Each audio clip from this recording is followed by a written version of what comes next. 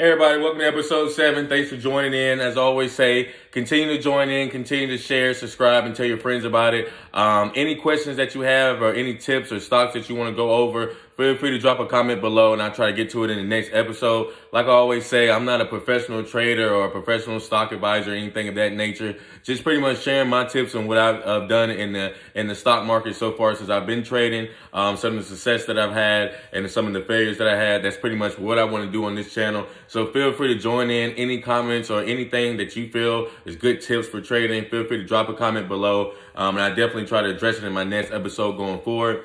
Um, in episode seven, I wanted to focus on day trading versus uh, swing trading. Um, I know this past week, a couple of my followers asked me about swing trading and what are some of the stocks that I swing trade and things like that. Uh, so I am going to touch bases on this video on some of the stocks that I'm swing trading this uh, over this current weekend. Um, some of the stocks, you know, that, like I said, I'm looking forward to on Monday or Tuesday of next week, seeing how, you know, the stock rises over the weekend, things like that. Um, I wanted to go over the pros and cons of swing trading versus day trading.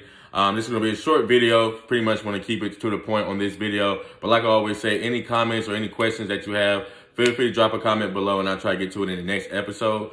Um, so to sum up swing trading versus day trading, um, day trading, pretty much, you know, you're trading stock within the same day, right? So when the stock market opens at 9:30 and it closes um, at four, you're you're pretty much focused on that trade, trading your stocks, things like that, and you're in and out of that out of that stock the same day. Um, versus swing trading is you get that stock and you go, you hold it over the next day over the weekend, things like that. That's the difference between swing trading and day trading. Um, some of the pros and cons as far as swing trading. The pros is, hey, you know, you're swing trading, it might jump up over the weekend with all the news or any PR that is released on that stock over the weekend. It will make the stock jump over the weekend. So that's a good thing. Uh, that's one of the pros as far as swing trading. Uh, one of the cons is the opposite of that. the stock can drop. Something can happen over the weekend that causes the stock to go down. And now, you know, you lost money over the weekend versus if you day traded, you would have had that money versus, you know, keeping it over the weekend and when the bad news came out.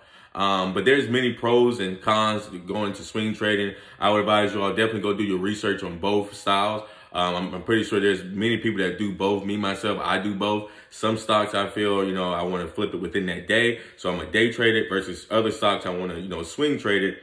I know some, some good uh, PRs coming out next week. I know it's cheap or, you know, they just had an offering or something like that this week. So the stock was down. So I know it's going to be cheap this week. So I want to buy that stock this week. And then going into next week, I want to swing trade it because I know it's going to go up uh, to levels that it was before, even higher. Um, so that's, like I said, that's some of the things that I focus on or some of the things that I try to look at when I'm going to decide whether I want to day trade this stock or swing trade it.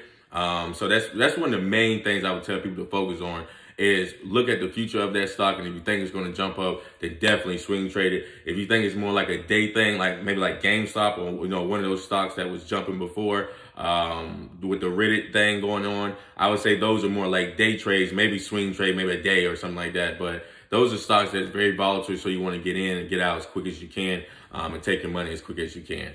Um, so just to get focused on some of the stocks that I uh, was swing trading over this weekend, I wanted to go over three of them. Like I normally do in my past videos, I focus on three stocks.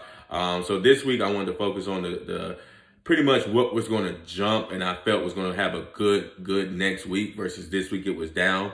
Um, and one of those stocks uh, was is called NEPT. Uh, again, that's NEPT, um, and that's Neptune Wellness.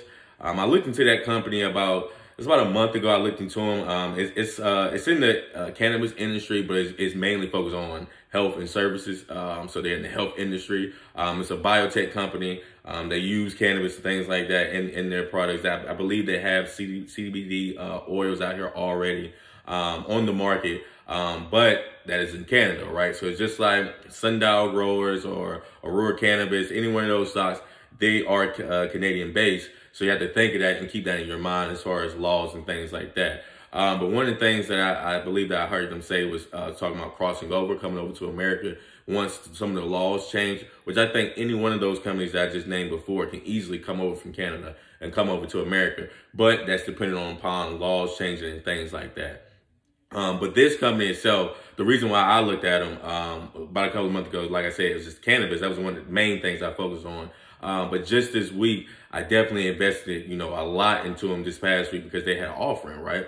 Um, the offering was at two dollars. just like I spoke about last week with the uh, stock IMPX, um, they had an offering, and that's when me, when I focus on that, okay, I feel that's the bottom. That's the bottom's going to go because you know institutions and things like that are buying the stock at this price, at this two dollar price. Um, the price actually dropped below two dollars. I think it got down to like uh, it was like around a dollar seventy or a dollar eighty uh, this past week, a dollar seventy two, I believe it opened up at on Friday. Um, and so that was something that I wanted to buy more and more of because I realized, okay, they are offering at two dollars. The stock right now is less than two dollars, so eventually it's going to go back up to two or even higher, right? Um, so that's one of the things that I focus on, like I talked about last week, um, last week's episode, episode six, as far as offerings and things like that. Um, so with this stock, it was just something I had to focus on. I wanted to swing trade um, just because I knew they had this offering. The offering just closed this past weekend. So I knew Monday or Tuesday of next week, this stock was going to jump. It was going to have a good increase, at least to $2 or more just because that's what the offer is at. And I've now bought in cheaper. You know, my average is around 170 or 160. So if it jumps up $2 and that's 40 cent, you know, that I'm making per share. Um, so that's something that I look into and that's something that I, I, am very intrigued by as far as companies and when they do offerings, things like that. Um, and this company, I already was intrigued about it before, before the offering. But then once I knew they had the offering coming up, it was something that I had to dive in, that I dive into and swing over, uh, over the weekend. Um, so that's something that I did. It actually jumped up um, on Friday. Um, I believe it got to like a dollar ninety six, so that was a plus. Um, but they are a great company. Like I said, they they are extremely well when I say as far as their outlook, um, as far as the future. I think this company could easily be a three four dollar company or even higher. Um, but on the low end, I would say being conservative, three to four dollars. I feel this stock that's that's the price that it should be at. And right now, it's around a dollar ninety six. Um, so that's something that I would tell people to definitely focus on. Um, it's in the healthcare services because it is a biotech company, but I love biotech companies because those are jumping right now. I feel like all biotechs are is a great industry to be in just because how how good they're doing. Um, another company that I wanted to focus on was PSTV. Uh, again, that's PSTV. That is a um, um, is a pretty much uh, another bio company that I'm focused on that I that I say is a good company um, that I feel you know, now that they're going to have this conference coming up, they have a conference call on Monday. They're just reporting their earnings after Monday, after the market closed. I want to get in that on Friday, um, just buy more and more on Friday. Of course, I've already owned the stock before, but this past week was something that I was focused on buying a whole bunch of this stock versus all, all my other stocks because I knew next week, once they have that conference call and release some of their, their data reports on some of their products, it's going to be amazing. The stock is going to jump. Um, and now I'm looking at right now, this past Friday, it actually jumped up 22 cent. Um, so that's something that's, that I felt, you know, that's good. You know, it's already started trending up. Um, and then by Monday or Tuesday after the conference call, because um, like I say, it's, it's, Monday after hours they release their earnings, which I don't really expect much from the earnings. The things that I'm focused on is the conference call and what they're talking about as far as their their product line and what's coming out and what's to come, and some of the trials. I believe one of them was in the phase three trial. Um, so I, I, think that's you know major um, if they start talking about that and what, what's going forward with that uh, product. Um, like I said, that's another company that's in the healthcare services. Um, I'm very focused on healthcare services. I love healthcare stocks. Um, just like I love ca- uh, cannabis stocks and other stocks like that, uh, tech stocks. I really love tech stocks as well. But healthcare stocks is something that I like. Um, it's something that I feel that I can get into between six months, especially when they're down and they re- they're about to release a product. I think it's perfect time to get into those type of companies. Um, and not only that, PSTV, they also help battle, uh, battle cancer. Um, that's some of their, their, their treatments that they have. Um, they have very good, innovative uh, treatments to help battle cancer. And you know, as far as cancer, that's a big, big market right now. Um, and that's something that can easily jump 10 $20 or $5, any, any case may be with this stock. Um, so that's something I wanted to dive, dive more in and buy a couple more thousand shares, which I did this past Friday and Thursday. I at least bought at least five or six more thousand shares of this stock just because how, how, how well I think it's going to go. Um, so definitely I want people to check in on that. Um, that was the second stock I wanted to talk about. Like I said, they're having an earnings call, um, the, the earnings release uh, Monday after the market close. Um, so I'm looking for like a Tuesday or Wednesday jump for this. Um, but I mean, I think it's going to be a great company. I think they're going to have great products coming along. Um, not really focused on the earnings, like I said, but I'm mainly focused on what they're going to be talking about in that conference call because um, that's going to be major moving forward. Um, and then, so the third company I wanted to focus on, or the third stock I should say that I wanted to focus on, um, that I actually, you know, am, am, excited about, and I think they also have a great future, um, is ONTX. Again, that's ONTX. Um, and they are amazing. I feel this company can do a lot of things um, going forward with their research and with their uh, uh, and with their therapeutics that they do as far as you know moving forward and into next year. I think that company is going to have a big boom going forward. I think that's something that people should really focus on. Um, another stock they should do their research on and start looking to buying shares, buying more and more and more shares of. Because um, the past two, the, the last two companies I just mentioned, PSTV and ONTX, can't really buy uh, contracts in. Uh, so it's not more like option trading. It's more of the, you know, the outright buying that I talked about in my previous episode, episode two and three. Um, that's more, that's the company I would say focus on. That's more of a long-term buy right there. Um, right now, I believe it's at $1.71. Yep, so it's at $1.71. After hours is up 7 cents. Um, but this is a company that I feel next week is going to have a good week. And moving forward, you know, six, seven months down the line, once they start releasing more products and start talking about some of the treatments that they have out, I think this company is going to have a, a, big boom. Uh, so that's something that, I, you know, I want my followers to focus on. Uh, you know, buying these shares outright um, and focus on, you know, doing your research on those shares outright. Um, just because these two companies I just mentioned, PSTV and ONTX, I feel have a great, great upside. Um, NEPT, same thing, same on board with that. Um, the only reason I'm separating the two is separating the two is because NEPT you can actually buy a call and put options in that one.